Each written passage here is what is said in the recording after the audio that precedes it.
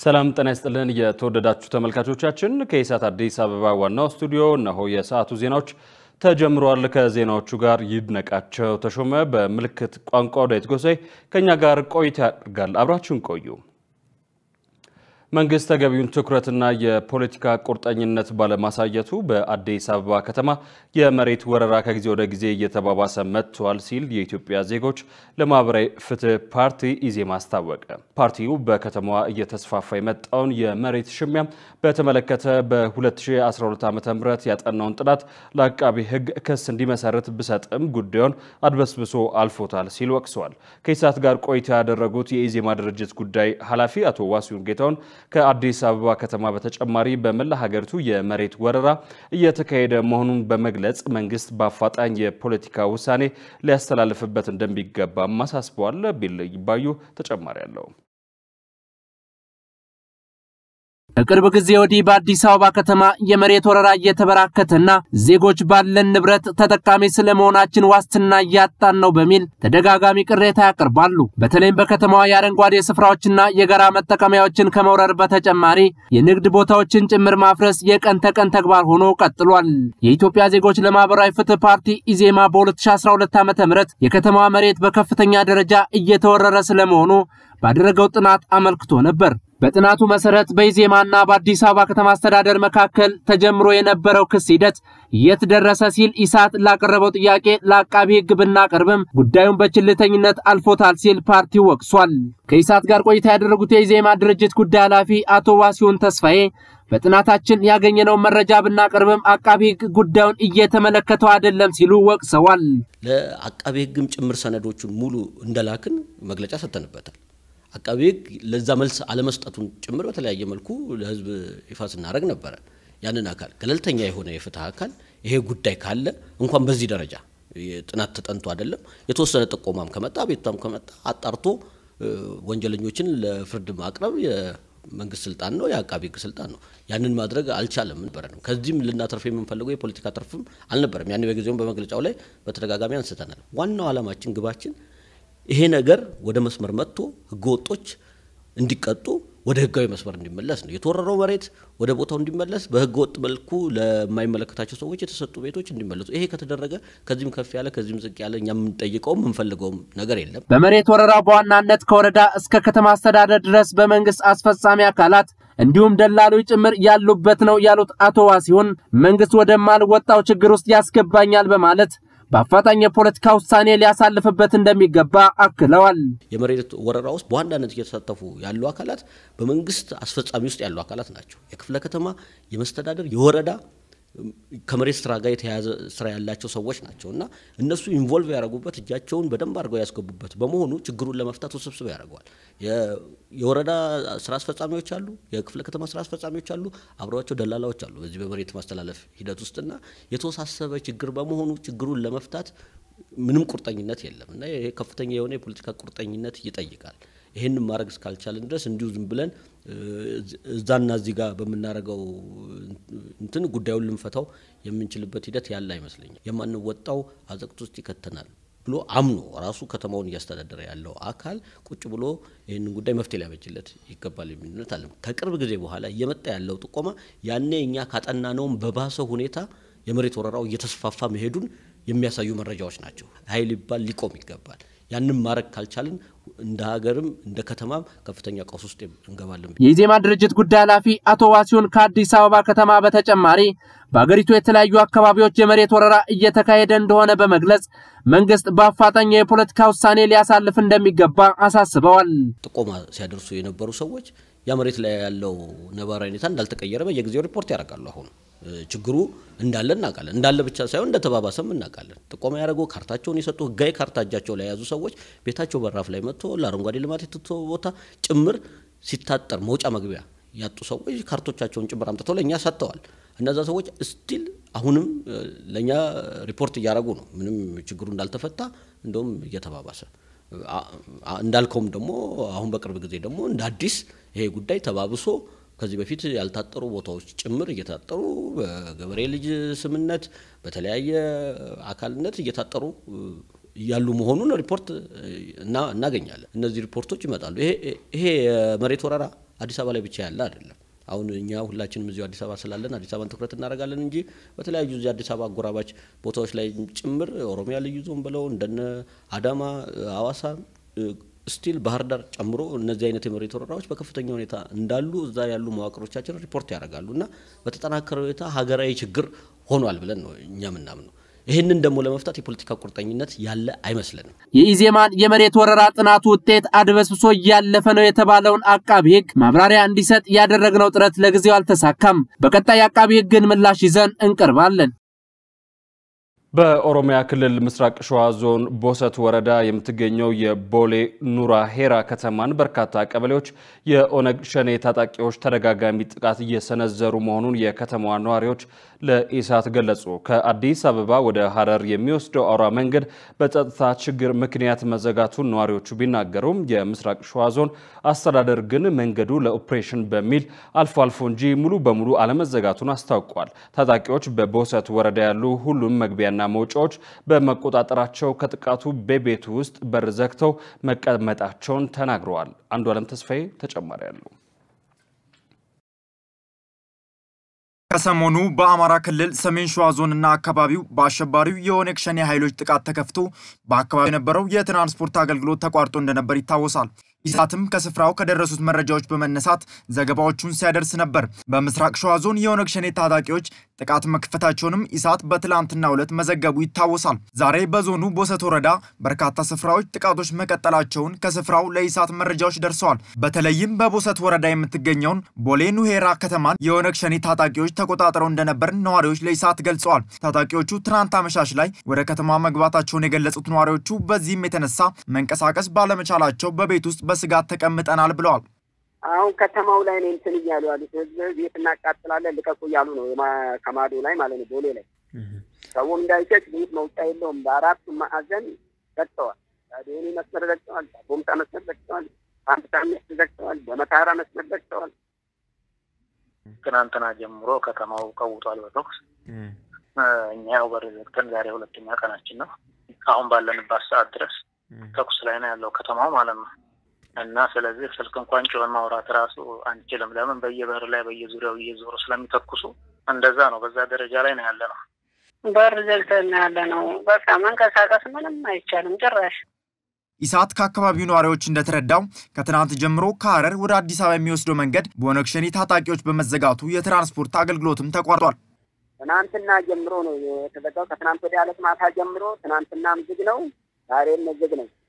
ስለ ጉዳዩ የጠየቅናቸው የምስራቅ ሸዋ ዞን አስተዳዳሪ አቶ አባቡ ዋቆ የመንግስት የጸጥታ አካላት በወረዳው የኦነግ ሸኔ ታጣቂዎች ላይ እርምጃ እየወሰዱ መሆኑን ነግረውናል። ከሀረር ወደ አዲስ አበባ የሚወስደው መንገድም ከዚህ ኦፕሬሽን ጋር ተያይዞ አልፎ አልፎ ከመዘጋቱ ውጪ ክፍት መሆኑን ተናግረዋል። አቶ አባቡ ውስጥ ሸኔን ለማጥፋት ዛሬ ሶስተኛ ቀናችን ዘመቻ ላይ ያለ ነው። ውጤቱ ስላልተጠናቀቀ ምንም መግለጽ አልቻለም ለሚዲያ።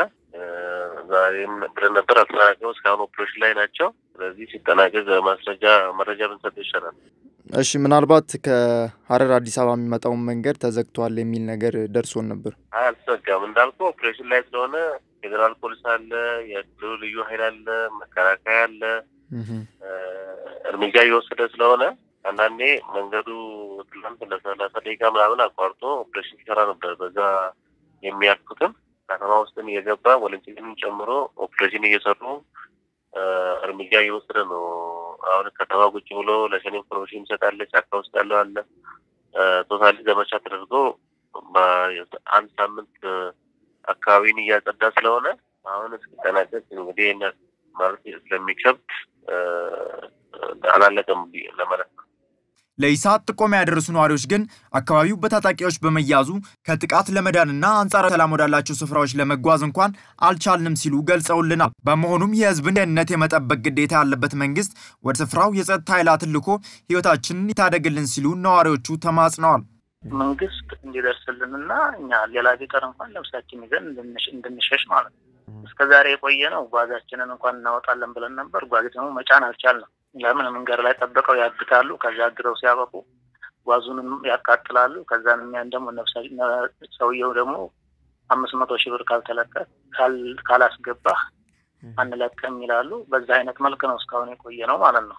በቅርቡ የመከላከያ ሰራዊት ከፌዴራል ፖሊስና ከኦሮሚያ ክልል ኃይላት ጋር የተቀናጀ እርምጃ በኦነግ ሸኔ ላይ የወሰዱ መሆኑ ቢገለጽም አሁንም ዜጎች በሽብር ቡድኑ ጥቃት ለሞትና መፈናቀል መዳረጋቸው ግን ቀጥሏል። የአዲስ አበባ ከተማ ሰላምና ጸጥታ ቢሮ ህዝባዊ ሰራዊት ሲል የሰየማቸውን 30 ሺህ አዲስ የጸጥታ ጥበቃ ምልምሎች በሁሉም ክፍለ ከተሞች ማሰልጠን መጀመሩን አስታውቋል። ህዝባዊ ሰራዊት የተሰኘው የጸጥታ ኃይል እስከ መኖሪያ ሰፈሮች ድረስ እየተደራጀ ነውም ተብሏል። በጉዳዩ ላይ ደውለን ያነጋገርናቸው የአዲስ አበባ ከተማ ፖሊስ ኮሚሽን ህዝብ ግንኙነት ዲሬክተር ኮማንደር ፋሲካ ፈንታው ጉዳዩ የሚመለከተው የከተማዋን ሰላምና ጸጥታ ቢሮ እንደሆነ በመጠቆም መረጃው እንደሌላቸው ገልጸዋል።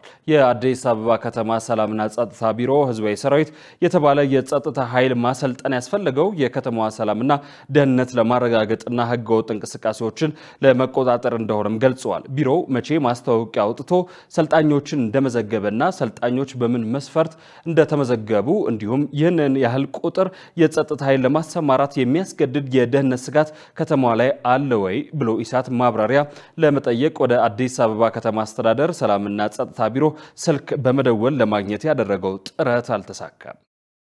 ከዚህ ቀደም ኢሳት ለአድማጭ ተመልካቾቹ አድርሶ የነበረው በአሰሪዎቿ ተከታታይ ድብደባና ዛቻ ደርሶባት ድብደባውን መቋቋም ሲያቅታት ከሁለተኛ ፎቅ በመዝለል ራሷን ለማጥፋት ሙከራ ያደረገችው የቤት ሰራተኛዋ የ16 ዓመት ታዳጊ ሲሳይ ብዙነህ ጉዳይ የፍርድ ቤት ሂደቱን ተከታትለን እናሳውቃለን ማለታችን ይታወሳል። ነገር ግን ታዳጊዋን በሚመለከት ጉዳዩን ከያዙት የአዲስ አበባ ሴቶችና ሕጻናት ማህበር የደረሰን መረጃ የፍርድ ሂደቱ ህጋዊ ውሳኔ አላገኘም። በሌላ በኩል ሲሳይ ብዙነህ ተስፋ የለሽ የነበረው ጉዳቷ በጥቂቱም ቢሆን ለውጥ ማሳየቱን በአቤት ሆስፒታል ጉዳዩን የሚከታተል የሚከታተለው ዶክተር ተስፋ ያሳውቆናል። ጉዳዩን ምስሌ ሀሺም ተከታትለዋለች፣ እንደሚከተለው ይቀርባል። ከአርሲ በቆጄ ተሰርቃ ወደ አዲስ አበባ የመጣቸው ሲሳይ ከቤተሰቦቿ ለዓመታት ርቃ የቆየችባቸው ጊዜያት ሰርቀው ባመጧት አሰሪዎቿ ድብደባና ዛቻ የተሞላ ነበር። ታዲያ ሲሳይ ዛቻና ድብደባውን ሽሽት ራሷን ለማጥፋት ከሁለተኛ ፎቅ መዝለሏን እንዳስቃኘናችሁ አይዘነጋም። ወንዶችን ጉርሶችን ጠርቼ አስደፍርሻለሁ አለች። በመርፌ ወግቼ እገልሻለሁ አለች። እኔ በዛ ሰዓት የፈራሁት መርፌንም አይደለም ዱላንም አይደለ ፈራሁት። እኔ ፈራሁት በወንዶች ታስደፍረኛለች ብዬ ምክንያቱ ጠራለሁ ስላለች እዛ ካሉትን ከመጥራ ወደ ኋላ አትልም። የ16 ዓመቷ የቤት ሰራተኛ ሲሳይ የፍርድ ሂደት ከምን ደረሰ ብለን ጉዳዩን ለያዙት የአዲስ አበባ ሴቶችና ህጻናት ማህበር ፕሬዝዳንት ወይዘሮ ሁላገርሽ ጥያቄያችንን አቀረብን። ታስሮ ክትትሉ እየተደረገ ነው። የህግ ባለሙያ ሴቶች ማህበርና የአዲስ አበባ ከተማ ፖሊስ ኮሚሽን ይዞታል ጉዳዩ ማለት ነው። okay። አይ ተፈተዋል የሚል ነገር ሰምቼ እኮ ነው። ያው የህግ ክርክሩ እኔም አሁን ሰሞኑን check አላደረግኩኝ። ቼክ አድርጌ ላሳውቅ። እሺ፣ ማን ነው ጉዳዩን የያዘው? ፍርድ ቤት አልያዘውም አይደል? አይ ፖሊስና የአዲስ አበባ የህግ ባለሙያዎች ማህበር ሄደን በቃ የህግ እንትኑን ጀምረውታል። በዋስ ምናምን ነው የሚፈቱ። ፍርድ ቤት ያልያዘው ጉዳይ በዋስ መልቀቅ ይቻላል ግን? አይ ፍርድ ቤት ሳይደርስ check ላድርገው። ታዳጊዋ ሲሳይ ራሷን የማጥፋት ሙከራ ስታደርግ ከፍተኛ ጉዳት ደርሶባት እንደነበር ይታወሳል። አሁን ላይ ታዳጊዋ የጤና ሁኔታዋ በሚመለከት ለውጥ መኖሩን የአቤት ሆስፒታል social work department head አቶ ተስፋዬ ተናግረዋል። አንዳንድ ተስፋ ሰጪዎችን አይተናል። ለምሳሌ መጀመሪያ መቀመጥ አትችልም ነበረ፣ ዊልቸርም ላይ መቀመጥ አትችልም ነበረ ከደረሰው ጉዳት አንጻር። አሁን ግን ዊልቸር ላይ ተመቻችታ መቀመጥ ችላለች። የነበረችበት ሁኔታ ከዚህ የከፋ ነበር። ከመተኛት ውጭ መቀመጥ እንኳን ወገቧ ታጥፎ ለመቀመጥ እንኳን አስቸገር ነው። በፓርቲ ሚዲያ ሽፋን ምክንያት የተገኙ ውጤቶች አሉ። ከአሜሪካን ድረስ በሚለው ከዛም ውጭ በአካል አዲስ አበባ ከተማ ውስጥ በአካልም መጥተው ድረስ ጠይቀዋት የገንዘብ ድጋፍ አድርገው ያትን የሄዱ ሰዎች ነበሩ። ሁሉ ነገሮች ግለቶች የመጡት ሚዲያው ከሰጠው የዜና ሽፋን በኋላ ነው። ምንም እንኳን ከማህበሩ ያገኘነው መረጃ የሰማችሁትን ቢመስልም የታዳጊ ሲሳይ ጉዳይ የፍርድ ሂደት እንዲስተጓጎል በየቦታው ያሉ አካላት ፍትሐዊ ያለመሆንና አሁንም በሀገራችን የሚስተዋለውን የፍርድ መጓደድ የሚያስተጋባ ይመስላል። እንዲሁም የፍርድ ሂደቱን ለማደናቀፍ መረጃ የማጥፋት ስራ እየተሰራ መሆኑን ከመረጃ ምንጮቻችን ማረጋገጥ ችለናል። ታዲያ ኢሳት ታዳጊዋን በሚመለከት ጥቃቱን ላደረሱባት አካላት ተገቢውን ፍርድ ካላገኘ እረፍት አይኖረውም። አሁንም ተገቢውን ፍርድ እስክታገኝ ጉዳዩን ተከታትለን የምናደርስ መሆኑን ለማሳወቅ እንወዳለን። አዲስ አበባ ከተማ ፒያሳ የሚገኘው እድሜ ጠገቡ አንበሳ መድኃኒት ቤት ለረጅም ዓመታት ከነበረበትና በቅርስነት ከተመዘገበው ቤት ዛሬ ማለዳ እቃዎቹ እንዲወጡ ተደረገ። ከአራዳ ክፍለ ከተማ ታዘን ነው ባሉ አካላት በር ሰብረው እቃ እየጫኑ ስለመሆኑ ኢሳት በአካባቢው ተገኝቶ ለማረጋገጥ ችሏል። እድሜ ጠገቡ አንበሳ መድኃኒት ቤት እየፈረሰ ነው የሚለውን መረጃ መነሻ በማድረግ ኢሳት በቦታው ተገኝቶ የተከራዮች እቃ እየወጣ ስለመሆኑም ታዝበዋል። በጉዳዩ ላይ በቦታው የነበረችው መልእክተ ዮሐንስ ነበረች። መልእክተ ዮሐንስ ጉዳዩ ምን ነበር፣ እንዴትስ እየሆነ ይገኛል የሚለውን መረጃ ልታደርሰን እዚህ ስቱዲዮችን ተገኝታለች። መልእክተ መቀጠል ትችላለሽ። አመሰግናለሁ ይድነቃቸው። ወደ ፒያሳ አምርተን ነበር። ፒያሳ የሚገኘው ከ50 ዓመታት በላይ ያስቆጠረው አንበሳ መድኃኒት ቤት በቅርስነትም ተመዝግቧል። በጀርመናውያን ሁለተኛና ሶስተኛ ትውልድ እየተንቀሳቀሰ እየተመራ እንደሚገኝም ይነገርለታል። ይህ መድኃኒት ቤት በስሩ ከ50 በላይ ሰራተኞችም እንዳሉበት ይነገራል። ይሄ መድኃኒት ቤት መድኃኒት መቀመም ብቻ አይደለም፣ መሸጥ ብቻ አይደለም፣ ለሕክምና አገልግሎት መሳሪያዎችንም ያቀርባል በተለያዩ የኢትዮጵያ ክፍሎች ማለት ነው እና ከቅርብ ጊዜ ወዲህ ሰሞኑን የወጡ ጭምጭምታዎች ነበሩ። መድኃኒት ቤቱ ሊፈርስ ነው እና ለአንድ ባለሀብት ሊሰጥ ነው የሚባሉ ጭምጭምታዎችን ተከትሎ በተለይ በቅርስ ያገባናል የሚሉ የሚቆረቆሩ በቅርስ ጉዳይ የሚያሳስባቸው ሰዎች እንዲሁም ደግሞ የአካባቢው ማህበረሰብን በእጅጉ ያስቆጣ ለምን ይፈርሳል የሚባል ጥያቄ በስፋት ያስነሳ ጉዳይ ነበረ። ዛሬ ደግሞ ይሄ ቅርስ ቤት ፈርሷል የሚል ጥቆማ ደረሰን። በተለያዩ የማህበራዊ ሚዲያዎችም እንዲሁም በአካል ስቱዲዮም የመጡ እየደወሉም የነበሩ አድማጭ ተመልካቾቻችን ነበሩ። አዎ ፈርሷል የሚል መረጃ ያደረሱን ማለት ነው። እኛም ይህንን መረጃ ይዘን ወደ ስፍራው አቀናን። ወደ ስፍራው ስንደርስ ግን የፈረሰ ነገር የለም። ግን ውስጥ ያለው እቃ ሙሉ በሙሉ እየተጫነ በመኪና ሲወጣ አየን። የአካባቢው በፖሊስ ታጅቧል። ደንብ አስከባሪዎች አሉ። ሌሎችም ደግሞ የተወከሉ ይመለከታቸዋል የተባሉ አካላት አሉ በስፍራው። እነዚህ አካላት በጉዳዩ ዙሪያ ለማነጋገር ያደረግሽው ጥረት ምን ይመስል ነበር? እስኪ ንገሪ። አዎ እንደውም መጀመሪያ ያደረግነው ነገር ስለ ጉዳዩ የሚመለከታቸው አካላት የመሰሉንን ሰዎች ቀረብ ብለን ማን ነው የሚመለከተው ብለን ለማናገር ሙከራ አድርገን ነበረ። ሁሉም ፍቃደኛ አልሆኑልንም። ከዛ በኋላ ካሜራችንን አውጥተን ያለውን ሁነት ለመቅረጽ የአካባቢውን ማህበረሰብ ስሜት ለማንጸባረቅ ምን ይመስላል፣ ምን ይላሉ የሚለውን ነገር ለማወቅ ካሜራችንን ስናወጣ ከለከሉን። እንደውም የሚገርምህ ከደንብ አስከባሪዎች በኩል ከስነ ምግባር ውጭ የሆነ ንግግር ሁሉ ነው የተናገሩን እና የጸጥታ አካላት አሉ፣ በትክክል የሚያናገሩንም አሉ። በእርግጥም በጥሩ ስነ ምግባር እኛ ታዝዘናል። ማንኛውም አይነት ሚዲያ መጥቶ መቅረጽ አይችልም ተብለናል። ስለዚህ መቅረጽ አትችሉም እባካችሁ ብለው ያው በትህትና ሳይበሳጩ መጥፎ ቃላት ሳይናገሩ ያናገሩንም አሉ።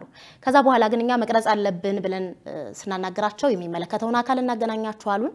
ማነው የሚመለከተው አካል ስሙን አልገለጸልንም፣ ኃላፊነቱንም አናቅም። ግን ይሄ ቅርስ ቤት ሊፈርስ አይደለም ለአንድ ባለሀብት ወይም ደግሞ ለሌላ አካል ተላልፎ የገበያ ማዕከል ሊሆን ነው ቅርስነቱን ሳይለቅ የሚል ምላሽ ሰጠን። እሱም በካሜራ ማስቀረት አልቻለም፣ እንዲሁ በቃል ስንነጋገር ማለት ነው።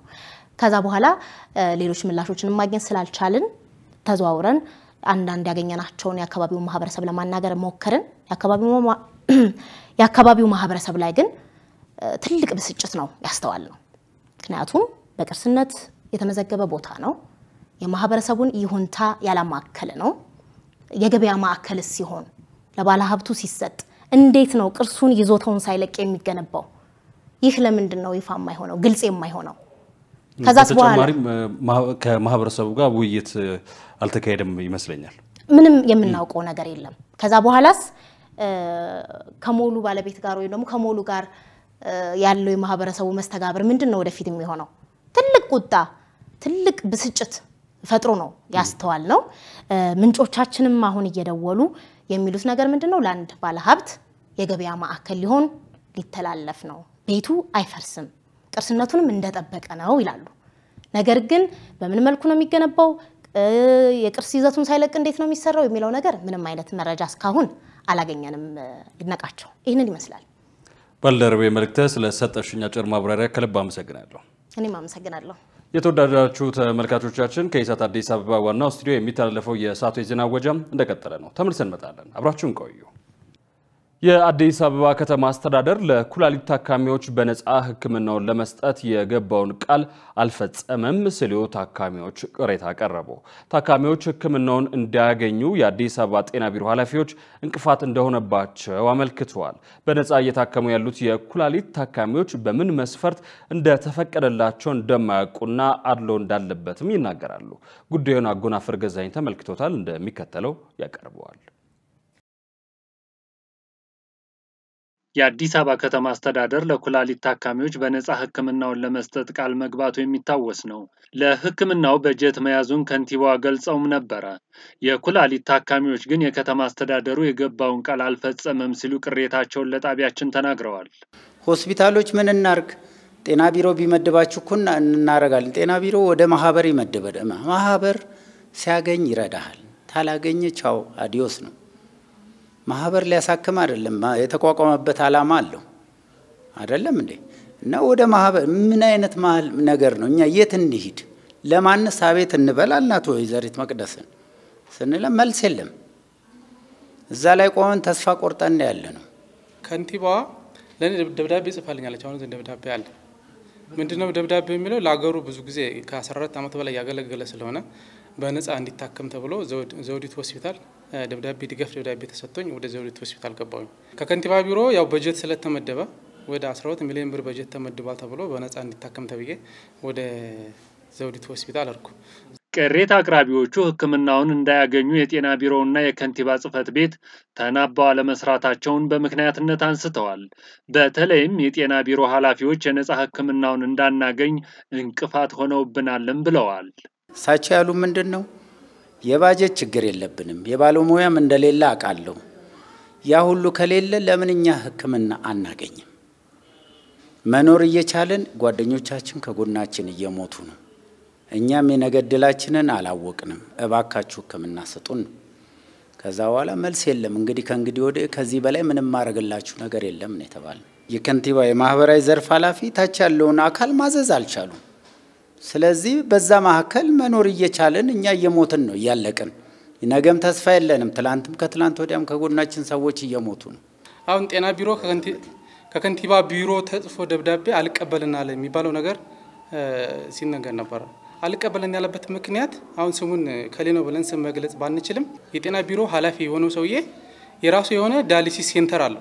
የከተማ አስተዳደሩ ለኩላሊት ታካሚዎች ሕክምናውን በነጻ አቀርባለሁ በማለቱ ድጋፍ ሲያደርጉላቸው የነበሩ አካላትን በማቋረጣቸው የከፋ ችግር ውስጥ መውደቃቸውን ታካሚዎቹ ተናግረዋል። ክብርት ከንቲባዋ እንደዛ ብላ በተናገረች መሰረት የግል ታካሚዎች በሙሉ ሰዎች የሚረዱንን እንዲቆም አድርገዋል። ማለት ለመታከም አልቻልንም። ምሳሌ እኔ በዘጠኝ ቀን አንድ ቀን አደርጋለሁ። ምክንያቱም የሚሰጠኝ ሰው ልመና ሀብት የምናካብት ስለሚመስላቸው ህብረተሰቡ ማለት ነው። ያንንም ደግሞ ለምነን እንዳንታከም ከንቲባ ቢሮ በነጻ ተብሏል ስለተባለ የምንለምነው ሰው አሁን ለምሳሌ እሱ ወንድሜ ለእኔ ስፖንሰር የሚሆነኝ ከሆነ እንዴ በነጻ ተብሎ ይል እንደ በነጻ ስለተባለ ለምንድን ነው የምትለምኑ? ቢዝነስ አረጋችሁት ወይ እስከ ማለት ደረጃ ደርሰናል። የአዲስ አበባ ጤና ቢሮ በቅሬታው ላይ ምላሽ እንዲሰጠን ጥረት ብናደርግም አልተሳካልንም። ቢሮው ምላሽ ሲሰጠን ይዘን የምንቀርብ መሆኑንም እንገልጻለን። የአዲስ አበባ የትምህርትና ስልጠና ጥራት ቁጥጥር ባለስልጣን በ2014 ዓ ም ጭማሪ ያደረጉ ትምህርት ቤቶች በ2015 ዓ ም የትምህርት ዘመን ምንም አይነት ጭማሪ ማድረግ እንደማይችሉም ተገልጸዋል። ነገር ግን ላለፉት ሁለትና ሶስት ዓመታት ጭማሪ ሳያደርጉ የቆዩ ትምህርት ቤቶች በሚያቀርቡት ፕሮፖዛልና ከወላጅ ጋር በሚያደርጉት መግባባት መሰረት ጭማሪ ማድረግ ይችላሉ ተብለዋል። በአዲስ አበባ ከተማ ቅርንጫፎቻቸውን ጨምሮ 2000 ገደማ የግል ትምህርት ቤቶች እንዳሉት ተጠቁሟል። የአዲስ አበባ የትምህርት ቤቶችና ስልጠና ጥራት ቁጥጥር ባለስልጣን ምክትል ስራ አስኪያጅ ወይዘሮ ፍቅርተ አበራ ከመደበኛም የአገልግሎት ክፍያ ውጪ በአይነትም ሆነ በገንዘብ ትምህርት ቤቶች ክፍያ መጠየቅ አይችሉም ያሉ ሲሆን ከዚህ ቀደም ያለ አግባብ ጭማሪ ያደረጉ ትምህርት ቤቶች እርምት እንዲወስዱ መደረጉንም ገልጸዋል። እነዚህ ትምህርት ቤቶች 400 ሺህ የሚጠጉ ተማሪዎችን እንደሚያስተናግዱና ይህም ከአጠቃላይ የአዲስ አበባ የተማሪ ሽፋን 43 በመቶውን ይይዛል ተብለዋል። አምራች ኢንዱስትሪዎች ለሚቀጥሉት ሶስት ወራት ጥሬ ቆዳና ሌጦን እርድ ከሚፈጽሙባቸው ቦታዎች በቀጥታ መሰብሰብ እንዲችሉ መፍቀዱን የንግድና ቀጠናዊ ትስስር ሚኒስቴር አስታወቀ።